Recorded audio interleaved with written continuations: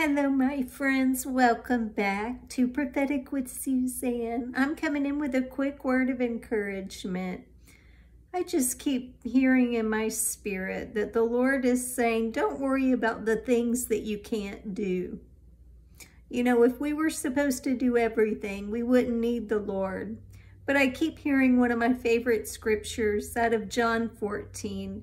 Do not let your heart be troubled, neither let it be afraid. Don't be troubled, my friend. God knows that we can't do everything.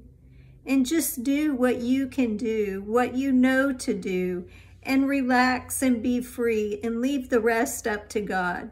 There's so many things that we don't have to do that God does for us. He fights for us. He makes a way for us. We can't do everything by ourselves. So hold on to this word and don't worry about what you can't do. I know I've said this before, but God wants you to be at peace and know that if there's something that needs to be done, he'll come in, he'll let you know, and he'll begin to move in Jesus' name, right in that area that you need it, because God is faithful. So I love you guys, and I pray this blesses and encourages the right ones today. God is on your side. So I thank you for all of your love and your prayers and all of your support, and I'll be back soon.